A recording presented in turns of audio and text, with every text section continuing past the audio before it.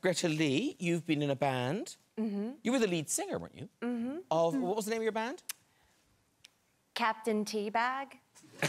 We have video. video. Oh God. It's serious. I mean, that's a big stage. But yeah, notice all the the boys in the band, and clearly I was vetoed when it came to naming the band. Or did you not want to call it Captain Teabag? No, not really.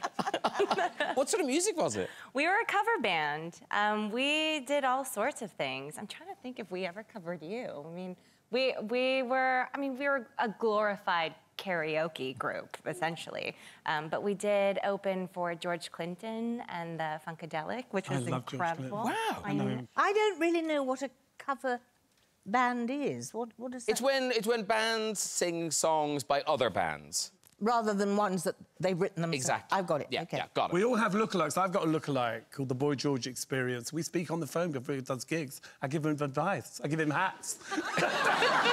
he's amazing and he's so good and he makes a living out of being me, which is insane. Not as much as I do, but.